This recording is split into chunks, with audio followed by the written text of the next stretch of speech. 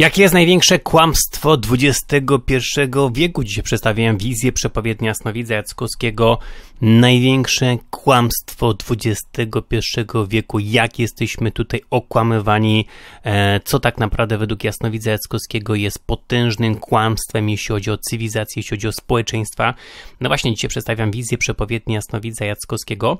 E, na samym początku, jeśli mnie jeszcze nie subskrybujesz, to zostaw suba, zostaw też łapkę do góry pod tym filmikiem kliknij na grze w dzwon, a dostaniesz powiadomienie, kiedy wrzucę nowy filmik. Wejdźcie też na mojego fanpage'a na Facebooku, zalajkujcie go. Link do tego fanpage'a znajduje się w opisie tego filmu. E, dzisiaj na temat mm, tutaj wizji przepowiedni Jasnowidza Jackowskiego dotyczącej największego kłamstwa, jeśli chodzi o XXI wiek. E, co tak naprawdę jest tym największym kłamstwem według Jasnowidza Jackowskiego, według jego wizji przepowiedni. A więc informacja tak naprawdę, która dotyczy nas wszystkich, wszystkich ludzi na świecie. E, od razu mówię, tu nie chodzi o kwestię praktycznie COVID-u, tak, tylko o inną praktycznie kwestię.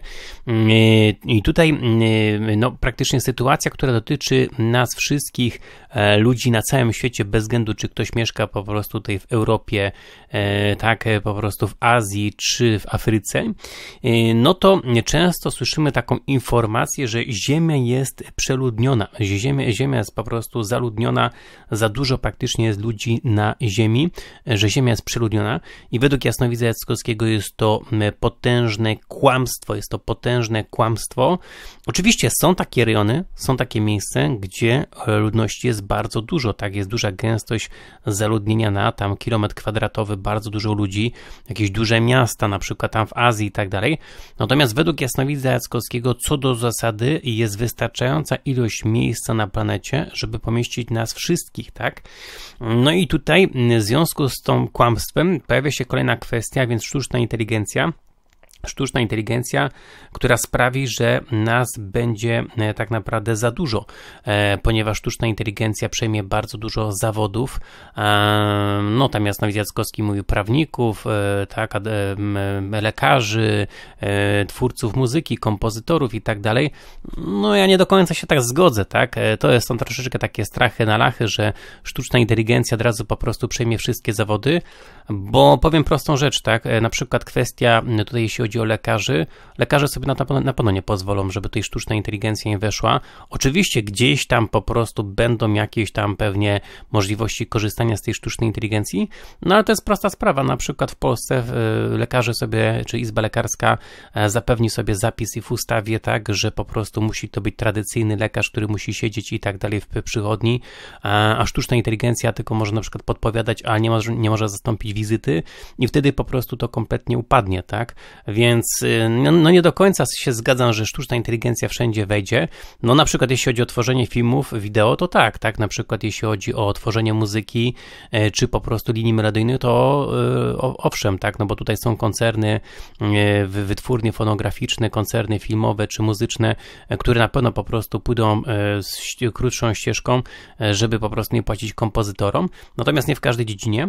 No i tutaj Jasnowic Jackowski właśnie mówi w ten sposób, że sztuczna inteligencja sprawi, że nas będzie za dużo, e, że intelekt ludzi będzie niepotrzebny, że sztuczna inteligencja zastąpi wiele zawodów, będzie liczyła się szybkość i wygoda Owszem, to prawda, w wielu tak naprawdę dziedzinach, e, natomiast nie wszędzie, tak?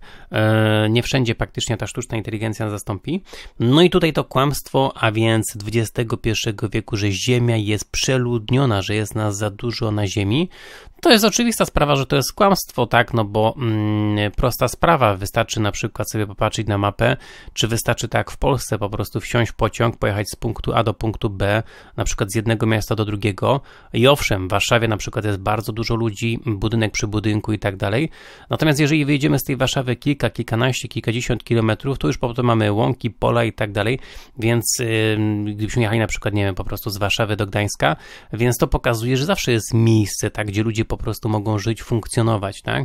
Natomiast pytanie też jest inne, yy, tak, no bo to miejsce na pewno starczy tego miejsca, yy, tylko pytanie, czy po prostu, y, tak, możni tego świata, e, decydenci, dygnitarze, politycy, ekonomiści, E, chcą, żeby nas tak dużo było, tak? To już jest inna sprawa, e, tak? No bo wiadomo, że jak jest mniej ludzi, to nie trzeba tyle po prostu produktów tworzyć, produkować, można podyktować wyższą cenę za, za pewne produkty i usługi, e, tak? To byłoby po prostu korzystniejsze najważniejsze dla tych dygnitarzy, e, tak, dla tych po prostu decydentów z ich punktu widzenia, e, tak, oczywiście takiego spiskowego, tak, no ja nie chcę, żeby nas było mniej, e, tak, tylko żeby normalnie cywilizacja się rozwijała, wiadomo, że ludzie umierają, rodzą się, ale żeby to się odbywało w sposób normalny, a więc Ziemia nie jest przeludniona.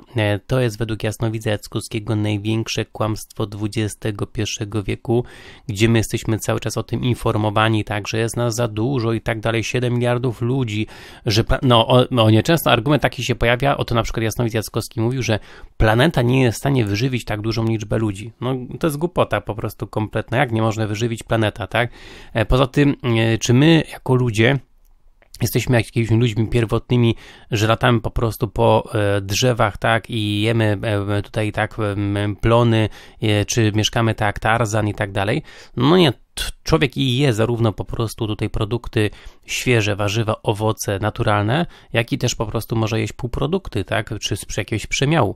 Więc spokojnie Ziemia jest w stanie nas po prostu y, nakarmić. Oczywiście no, jest kwestia, czy takie produkty są wartościowe, odżywcze, i to jest inna sprawa, no ale y, tutaj to, to też nie jest powiedziane tak, że y, tak, że tutaj zabraknie praktycznie y, dla nas miejsca, tak, i więc tak wygląda sytuacja. Zresztą ja bym powiedział w ten sposób, tak samo kłamstwem jest to, że sztuczna inteligencja zastąpi bardzo dużo zawodów. To jest prawda, ale nie wszystkie zawody, tak? No bo yy, ktoś na przykład, ob, ob, dzisiaj pojawiają się obawy, jeśli chodzi o sztuczną inteligencję, ale no zobaczmy na przykład hydraulika. Czy sztuczna inteligencja zastąpi nam hydraulika? Jeżeli na przykład zepsuje nam się jakaś rura, pęknie, zacznie nam cieknąć rura, to musimy wezwać hydraulika. E, czy sztuczna inteligencja nas obetnie, jeśli chodzi o włosy? Może będą jakieś skonstruowane roboty, tak, które nas obetną, włożymy głowę do jakiejś po prostu maszyny i ona obetnie nam włosy. Natomiast no nie, fryzjer będzie potrzebny, hydraulik będzie potrzebny. E, czy sztuczna inteligencja zastąpi pielęgniarkę? No nie. A więc niektóre zawody rzeczywiście sztuczna inteligencja może zastąpić, natomiast nie wszystkie. To jest jedna sprawa. E, poza tym ta sztuczna inteligencja, ona będzie po prostu wchodzić, wydaje mi się, bardzo powoli, topornie, nie we wszystkich krajach tak szybko. E, oczywiście sztuczna inteligencja pod kątem książek, muzyki, filmów, takiego przemysłu, rozrywki, tak, e, to na pewno po prostu tutaj, tak. No na przykład Jasnowidz Jackowski mówił, że sztuczna inteligencja przyszłości będzie, zastąpi nam wakacje, że no, założymy sobie okulary, będziemy mogli się przenieść w dowolne miejsce na świecie, odpoczywać tak naprawdę będziemy w swoim mieszkaniu, czy też w domu, tak? To po części już to ma miejsce, są okulary VR, które nas mogą przenieść, natomiast no, ten widok nie jest aż tak realny, tak rzeczywisty, tak to w praktyce ma miejsce.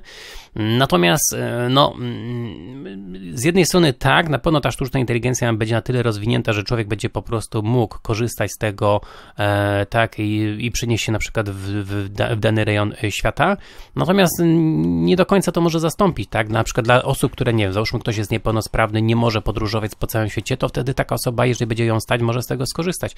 No ja pamiętam taką sytuację, wiele lat temu były powszechne bary tlenowe. I to było takie super ekstra. Wszyscy mówili, no tak, nie musisz jechać do lasu, nie musisz jechać nad morze Bartlenowe, idziesz na 10-15 minut, dostajesz tam po prostu rurkę, tam jakiś tlen, masz świeży, to specjalny, super ekstra sprawa, tak? To było wiele lat temu, jeszcze przed COVID-em, pewnie, nie wiem, z 10-15 lat temu.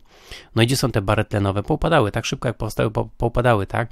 I wydawało się, że co, no ludzie, którzy mają agroturystykę, czy po prostu pensjonaty nad morzem, to zbankrutują, bo miastowi, tak, zamiast jeździć na wakacje dotlenić się, to po prostu na przykład, mm, czy pójść do lasu, to wszyscy będą chodzić do baru tlenowego na 10-15 minut i nie będą z tego y, korzystać po prostu z wakacji. No nie, no to upadło, tak?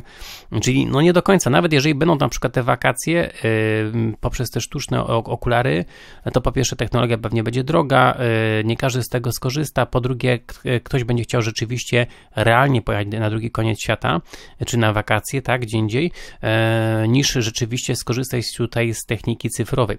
A kto wie, czy w przyszłości też nie będzie tak, to jest takie moje e, domniemanie, że na przykład pojawi się pewna grupa ludzi, którzy będą po prostu negować kwestie cyfrowe, tak?